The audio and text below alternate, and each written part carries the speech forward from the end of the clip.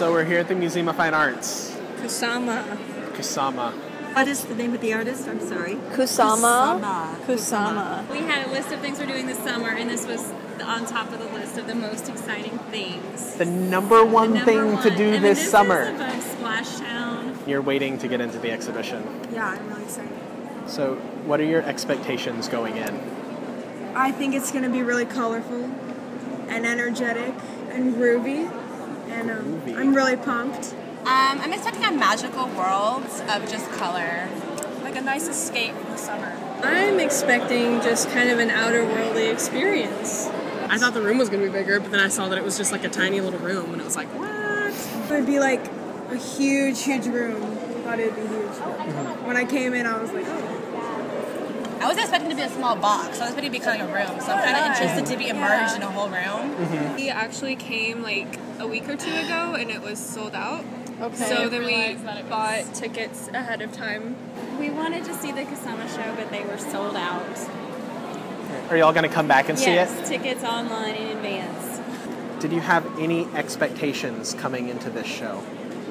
Uh, not really. People want to like interact with it, but it's really like you just stand art there happening to and you you. just Did you fall in the water? No, they were very clear about me standing. It feels like if you step off, you're just gonna fall. But really, honestly, my feet would just get wet and I'd be okay. Why'd you like the polka dot one best? Because there was not water around you, so you could fall in. Did you fall into the water? No. Did you fall into the water? I did not fall into the water. I managed I managed to stay dry my entire Kusama viewing experience.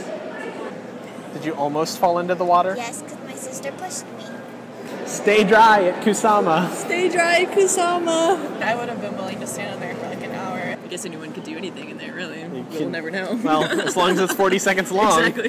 The, the mirrors make it look like if it's like an eternal walk of lights. Let's just start with if you could describe it in one word. Tangled. The lantern scene and Tangled. Oh, I thought. I thought you were getting really like conceptual, like Oh. it's tangled and Our lives like are oh, conception. Light, the color, the mood, the air, even. So Right. you have to experience it more often. how did y'all hear about the show? I saw it on Twitter. Okay. I saw pictures of it on Twitter, and I was like, dude, that looks awesome. I actually saw it on Instagram from like a Houston account. Pictures Yeah. of the exhibit. Where? Um, on Instagram, stuff like that. It's just completely like taken over your social media. Basically, yeah. Are y'all planning on taking pictures and sharing it on social media? Probably, yes. yeah, I love our pictures. Yeah, for sure, for sure. Make everyone jealous. Of course, I did take a picture in there. Don't get me wrong. Oh yeah. of course. Have y'all been to the museum before? Have y'all seen anything memorable?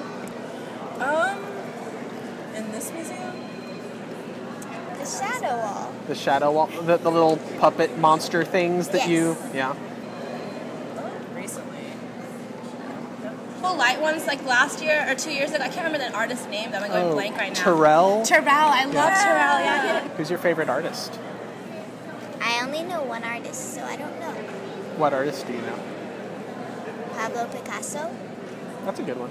Robert Ryman and Agnes Martin. Okay. Those are like my two favorite artists. I like Impressionism, so Monet. Okay. And I like Van Gogh and that sort of stuff. Most kids don't have an appreciation for art when they're small. They just want to like go to the gift shop. I got a medal for art in school. Cool. Was it for drawing or painting or? Uh, I did tissue paper and I made a uh, city thing. Do you think you're going to be in this museum someday? Yeah.